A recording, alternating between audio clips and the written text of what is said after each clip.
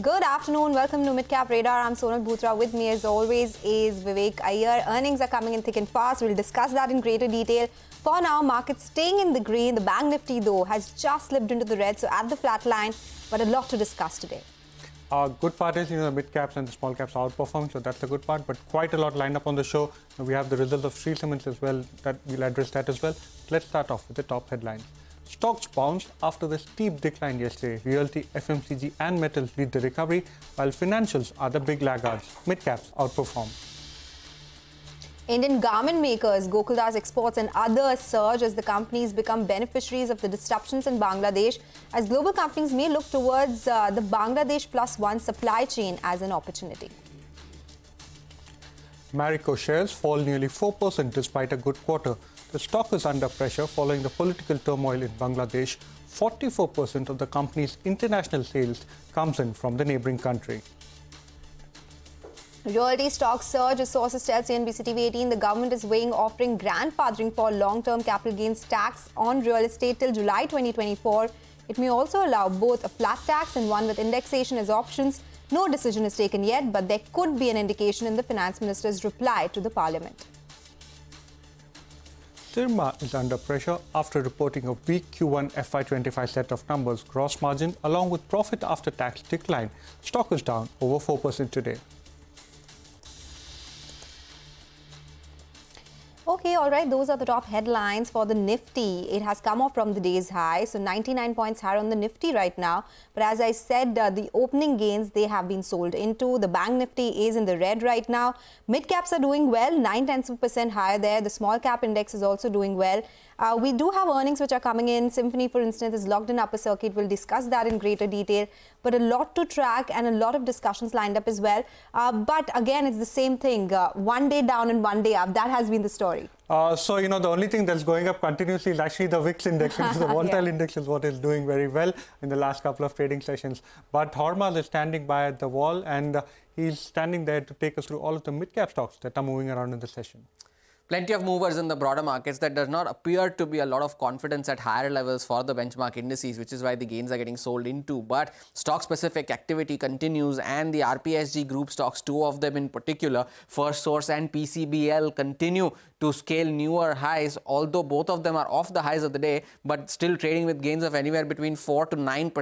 Welspun Living the record date for the buyback was yesterday 6.5% higher today and Jyothy Labs is having a good day in today's session. Real estate is staging a buyback uh, is staging a comeback in today's session. It snapped a four-day losing streak today and Godrej Properties, Brigade and Prestige Estates having a good day at the office in today's session some of the other stocks, the link to the Bangladesh political crisis, Marico is trading lower, almost 5% down. Now, Gokaldas Exports is having a good day, as is SP Apparels, Vardhman Textiles, all of them seeing gains of anywhere between 8 to 17% in today's session. Some stocks doing well on the back of volumes, and KPR Mills is one of them, Cera Sanitary Ware as well, and DCM Shriram seeing gains of 3.5% on the back of strong volumes. And lastly, some earnings impacts in today's session, BLS International 12% higher now at the highest point of the day. Schneider Electric, Triveni Turbine and Symphony after the buyback that it announced at over 100% premium to Monday's closing price is now trading with gains of almost 20%. Back to you guys. Okay, yes, big gains there. Earnings, the impact can be seen. Thank you so much, Hormaz, for joining us. Let's welcome Shrikant Chauhan from Kotak Securities for a technical check on the markets. Shrikant, good afternoon. Thank you so much for joining us. Well, what's the mood of the market now? We did see massive opening gains, but we have seen some uh, cool off, cooling off from those levels as well. Will we see some uh, consolidation at these levels? What are the charts suggesting? Yeah, good evening, uh, Vivek. Good evening, um, uh, Sonal. I think see like uh, market is is like going to consolidate because the way it has fallen from the highs of 25,000 to almost uh, 24,000. Uh, it was a vertical fall, and in a very short span of time, we saw these levels. So most of the time, whenever we see such type of sell-off in the market, we see some more liquidation or some uh, like profit taking at important resistance level. And yesterday, when the market opened lower, that time the highest level was somewhere close to 24,350, 360 levels. And from there only today, we are seeing some, uh, again, the reaction in the market. So I am of the view that the market is going to consolidate between these levels. And most of the time, whenever there is like uncertainty, uh, uncertainty in the market, we saw 100 days simple moving average acting as important support level for the market. So this time, this 100 days simple moving average is around 23,500, 600 levels. And I'm of the view that the market can correct up to those levels. So that's the overall view. But yes, it's a like overall trend of the market is bullish and the strategy should be to buy on dips.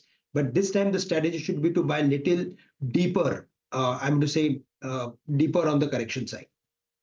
So you suggest that you know wait a little bit before going in. Uh, but anything you have uh, you know for our viewers in terms of what they could look at currently, any uh, you know long or short trades? Yeah, I think see Vivek, most of the stock have rallied uh, extremely like uh, close to their extreme levels in a very short span of time in last let's say a few months. Supreme Industry was somewhere close to 3500 levels in the month of March. From there, all the way it moved to 6500 and now again is uh, back to the levels of 50 5100 5200 levels. So from here i'm expecting stock to move towards the levels of 6000 or 6200 again. It's attractive buy at current levels. It is very close to its important support levels. So supreme industry is a buy at current levels with a target of 6000 we can keep stop loss if there is any trading position then close to 4800 levels. And the other stock which we like is castrol. The reason is because it has spent a lot of time uh, above the levels of uh, 240 and from there we saw the rally up to 270 75 but now again the stock is coming back to those same levels. Uh, i'm of the view that it's a buy uh, currently the risk reward ratio is quite favorable for the stock. It's a buy at current level with a stop loss close to let's say 240 i'm expecting stock to move back to the levels of 275 or 290 all right. Thank you so much, Shrikant, uh, for joining us, giving us your individual picks. We'll step into a break now. Atul Ganatra from Cotton Association of India will join in on the other side to discuss the impact of Bangladesh crisis on Indian textile and the cotton sector as well. Stay tuned.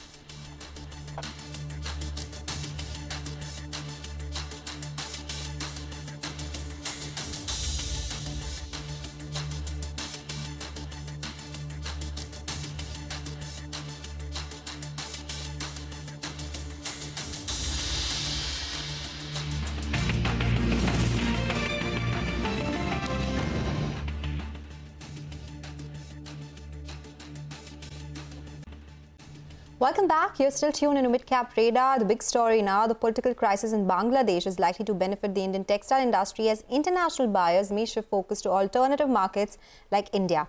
Indian garment makers, Gokaldas Exports, Lux, Industri Lux Industries, Nitin Spinners, all of them are trading higher. These are considered to be the beneficiaries of the Bangladesh Plus One supply chain.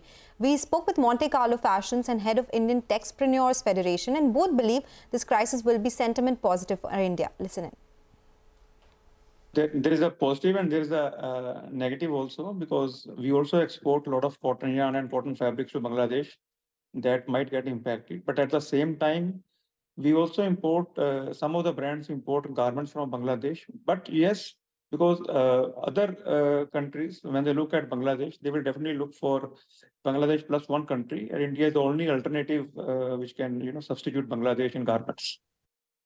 Bangladesh built a robust ecosystem in apparel manufacturing.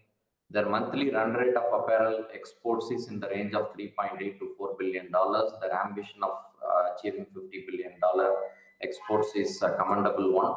And due to these incidents, definitely uh, some kind of a setback, at least in terms of sentiments they will face from international buyers. Uh, the buyers will naturally develop a kind of a fear over the delivery times because in apparel manufacturing as well as in supply chain, delivery times are very crucial. This kind of turbulence will create a small kind of a fear among buyers and they may try to divert some portion of orders to countries like India, particularly in cotton apparels. We also uh, have a strong export presence in Bangladesh in terms of yarn and our fabrics. Monthly, approximately around 3 crore kgs of yarn we are exporting, including fabrics. Our monthly run rate is around uh, 1000 crores per month to Bangladesh. Bangladesh don't have a strong manufacturing capability in yarn. So for the apparel export ambition, India is the right partner to supply yarn and fabrics. So quick recovery of Bangladesh is also very important for the healthy uh, operation condition of spinning and fabric sector here we are hearing from the ground from Bangladesh. They are they may come back uh, in a week time, uh, at least in the factory operation levels. So that that will be good for uh, spinning sector. Well, you know, we just heard from Monte Carlo Fashions and the Indian Texpreneurs Federation about how this particular development in Bangladesh could impact the Indian cotton and yarn ecosystem. To discuss more on this, we have Atul Ganatra, the president of the Cotton Association of India, joining us now. Uh, good afternoon, Mr. Ganatra. First of all, thank you so much for joining us. Uh, give us your first take on how this particular development can impact the Indian ecosystem. Yeah, good afternoon. Accordingly to me, there will be no much of impact on uh, these issues. In fact, uh, for cotton, as far as cotton is concerned, we are doing export to Bangladesh, but it is a end of season, so no much impact of cotton will be there. There will be a little impact on yarn exporters will be there, but it is a very big positive news for the garment industry, and I believe garment industry will do very good, and the lot of international brands which are buying at present from Bangladesh, they will turn to India due to this. Again and again, there is certain issues are coming. So I feel there will be a shifting of international big brands from Bangladesh to India. And that will be a very positive news for Indian garment industry. If you look at today, uh, this news, our industry is taking it positively because if you see most of the uh, stocks of the garment industry and textile industry like Nitin, KPR, Vardhman, Welspun, Alok, SP, and many more are doing today 5 to 15% stocks are up. So I believe this will be a very positive for the Indian garment industry. Also, oh. Bangladesh is dumping lot of cheap rate uh, clothes to Indian market and if that will be stopped, that will be also benefit to Indian cloth market. Yes, please. Mm. Okay, all right, we'll get that. Thank you for your uh, insights here. Mr. Ganatra, I wanted to understand, we were speaking to Monte Carlo as well today. They indicated that it will be negative for the yarn industry maybe because if a lot of it goes to Bangladesh and now that some of the factories would be shut, that would mean excess supply in the country itself. I wanted to understand if there's any data of how much cotton and yarn do we export to Bangladesh. You're saying it's end of the season. What are the estimates that we have for the next season in that case? You see, this year Indian export, cotton export will be around 28 lakh bales. Out of this, 20 lakh bales will be exported to Bangladesh. And our almost quota of Bangladesh is all, already done. And it is now slack season. Coming two months, it will be a, no much cotton exports will be there to the Bangladesh. Our new season will start from 15th October. And I hope till that Bangladesh situation will improve. But about yarn, you see, Bangladesh don't have any raw material, much of cotton. They are not having any cotton growing in the country. They are depend on India, USA, Australia, Brazil. As far as yarn, we do 25 to 30% of our yarn export to mainly to the Vietnam, Bangladesh, and China. But if yarn export will little slow down, but our cloth and garments movement will improve uh, far better than what we are doing now. So one side there will be a little drop, but other side we are expecting this will be a very much positive to the our textile industry. Uh, Mr. Ganatra, a two-part question, you know, as a follow-up to that. Uh, number one, how do you see prices of cotton uh, as well as yarn, you know, moving at least in the near term on the back of this uh, sudden development that's happened? And number two, you know, while you say it is a positive for Indian garment manufacturers, uh, can you quantify it in some form for us in terms of, you know, what is it that currently India gains, you know, from the overall export market, and where can they take it higher up to? Yes, you see, Bangladesh problem is they don't have any raw material. They do import of maximum raw material like cotton, cotton yarn, etc. Only benefit to the China, I mean Bangladesh, is their labor is cheap and power is cheap. But now after this uh, new power policy has come, lot of Indian mills also they are also having uh, captive power. So our power also is comparable with Bangladesh and our quality and quantity what we can offer that will be and the consistency will be there from the India. So I think lot of buyers will shift from uh, Bangladesh to India. As far as cotton is concerned, the rate difference between ICE and Indian cotton, we are uh, now, as on today, ICE future is at 68 cent, which is around 46,000, and Indian cotton is at 57,000. But ICE cotton future is of December month, and it is this future is only of 26.5 mm, which is a short staple. And against that, our Indian cotton rate is 29 mm, which is much superior cotton. If we have to compare I, anything with the Indian cotton, we have to compare Cotlook index, which is around 80 cent. And if we add 11% import duty, still our Indian cotton is cheap and best. Yeah. Mm. Okay. All right. Thank you so much, Mr. Ganatra, for joining us today and giving us all those details. So largely it's positive for the Indian garment industry. The cotton industry does not get impacted too much. The yarn industry may be a bit of a negative because the exports to Bangladesh could be impacted. TVS Motors numbers uh, flashing for you. It's largely an inline set versus the poll. Margins at 11.5%, which compares with the poll of 11.5%. The profits also absolutely in line with estimates. The stock is holding uh, in the green, up around 8 tenths of percent. Of course, we'll get Sonia with more details on this one as well. For now, the stock is at the day's high. We'll slip into a short break. When we come back, we'll get you more on the uh, markets and put focus on Symphony. The stock is up 20% after reporting its quarter one earnings. Stay tuned for that.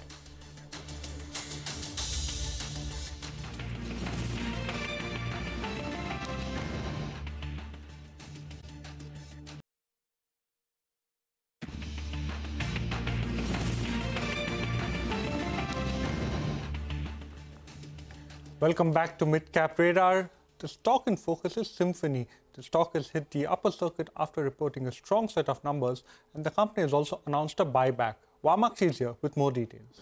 Well, absolutely. It's a very strong set of numbers coming in from Symphony. Revenue has surged by almost 76%. The gross margins have improved uh, by almost 100 basis points to 51%, but the operational performance of the company is stellar. Uh, the ma margins have uh, risen from 8.6% to 21% roughly, and as a result, the EBITDA has surged from 26 crores to 111 crores. This in turn is also driving a very huge jump in the net profit as well, which has gone up from 24 crores to 88 crores. Uh, but apart from a very strong set of numbers, like you rightly pointed out, Vivek, this, the company has gone ahead and uh, announced a buyback.